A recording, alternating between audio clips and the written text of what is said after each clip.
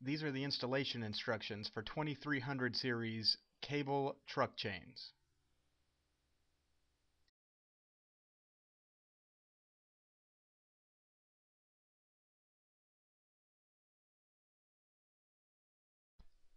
Lay your cable chains flat out on the ground. Check to make sure there are no tangles in the cross chain or twists in the side chain.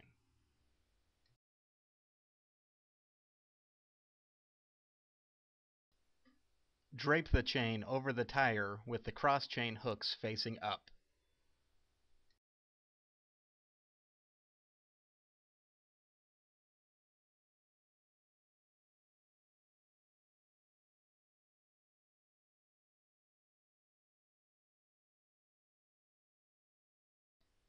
Pull forward far enough that the chain passes underneath the tire.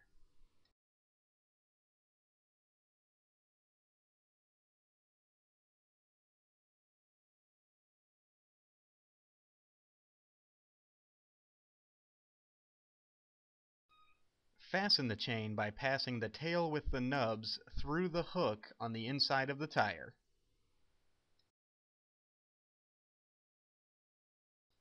Then pass the tail with the nubs through the hook on the outside of the tire and close the cam style fastener.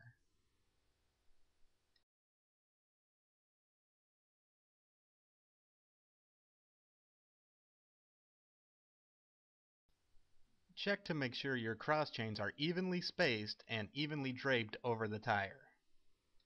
If your chain seems loose, you can adjust it by passing more nubs through the hooks on the inside and outside of the tires. Make sure you fasten the excess nubs of the tail to the side chain, on the inside and outside. Attach a rubber adjuster like the rubber straps shown here or our new rubber spider bungees to keep the chain tight around the tire.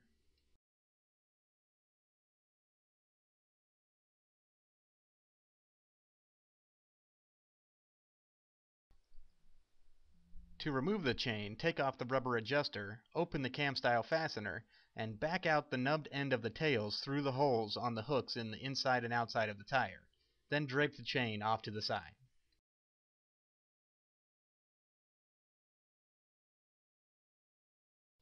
Either pull forward or back up far enough that the chain is completely free from being underneath the tire. Remember to get out frequently and check on your chains to make sure that they are still tight.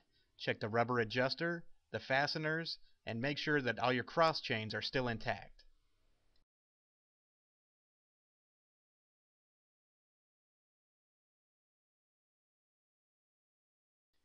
Also remember when using tire chains, do not exceed 30 miles per hour.